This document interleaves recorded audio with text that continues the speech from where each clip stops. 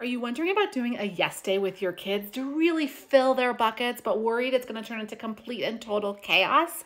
Here's exactly how to do a yes day with structure and support so that it is successful for everyone. Look, I know you want to avoid buying enormous Barbie dream houses or having a child say something like, are you going to say yes to whatever I ask for forever? And then you have to say yes. The secret for doing a successful yes day with boundaries is having a plan.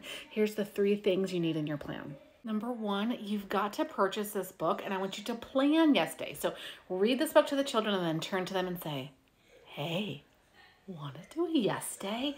This book sets your child up for what to expect in a beautiful way. Number two, pick a date and make a brainstorm. Write the date that you're going to do your yes day on a big old piece of paper, put it on the fridge, and every day for a couple of days, have the kids brainstorm. What are all of the things that we want to do during yes day? Anytime they think of something, they go write it on the brainstorm page. Now you have a list. And so as a family, you're going to sit down and decide which things you're going to do. Make sure that everybody in the family gets to pick some things. If there's three kids, they can each, you can go kid one, kid two, kid three, and then the next set of things, kid one to kid two, three, kid three. So you're rotating through. Number three, reframe and presence. So let's say your child, when yes day comes, says, No, I want to go buy something at the store.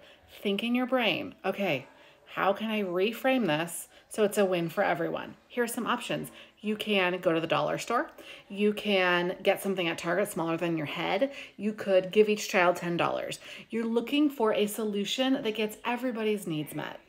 The other part of this third step is your presence. That is absolutely key. So lots of praise for the kids. Put your phone up for the entire day. No phones. If you try a yes day, I want you to come into the comments and let me know how it goes. Where did you get stuck? What was really awesome? What kinds of things did your kids even want to do?